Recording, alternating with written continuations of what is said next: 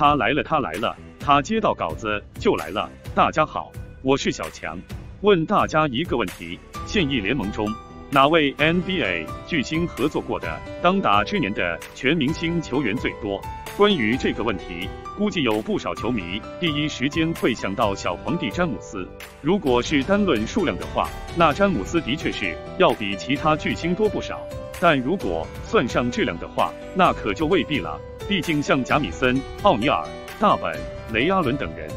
和詹姆斯合作时，基本上都处于生涯末期，早已没有了当年之勇。而小托马斯则因伤状态下滑严重，自然也算不上当打之年的全明星球员。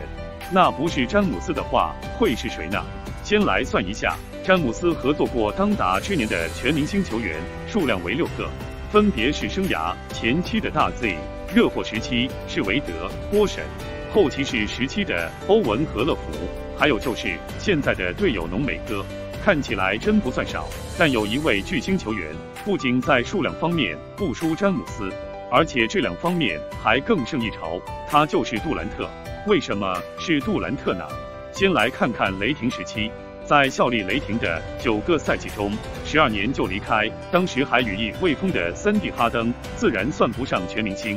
但二弟威少可是多次入选全明星的巨星球员，联盟最好的控球后卫之一。在他离开之前，就一场均贡献至少二十加七正式的数据了。而且在杜兰特离开后的首个赛季，威少就打出了单赛季场均三双的表现。并当选了常规赛 MVP 和得分王，而加盟勇士之后就更不用说了。在此之前，库里已经是两届常规赛 MVP、得分王和抢断王，也早已收入囊中，最佳阵容也没少进，妥妥的联盟第一控卫，排名前三的超级巨星，并带领球队赢得了一次总冠军奖杯，引领了联盟小球时代的变革。不管是论荣誉还是论历史地位。库里和杜兰特都属于同一级别的存在，更何况勇士队中还有联盟最好的二当家之一克莱汤普森。他在杜兰特到来之前就已经两次入选全明星阵容，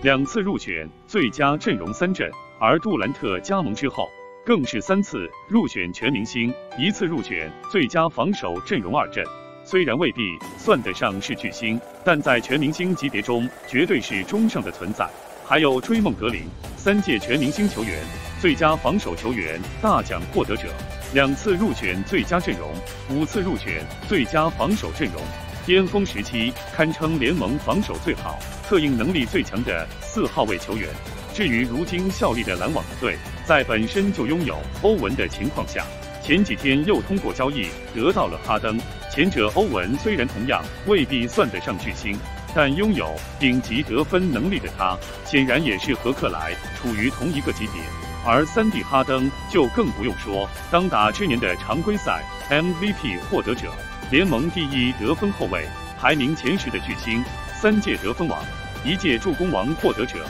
六次入选联盟最佳阵容一阵，数次杀入 MVP 评选前三。就算级别比不上杜兰特，但也差距不大。这样算起来的话，杜兰特职业生涯至今已经合作过了三位当打之年的常规赛 MVP，三位处于巅峰时期的优质全明星球员，加起来的话和詹姆斯一样是六个。但在数量相同的情况下，杜兰特这些全明星队友的质量可以说是完全碾压了詹皇的队友。毕竟，就算韦德和浓眉哥可以抵消库里和哈登两个时期的欧文不做讨论，剩下的大 Z 波神和乐福能够比得上追梦克莱和威少吗？由此看来，基本上每个时期杜兰特身边都有一位 MVP 级别的球员才在，而他才是真正意义上的一直在打富裕仗。And 他走了，他走了，右下角点个赞，再走啊，老板。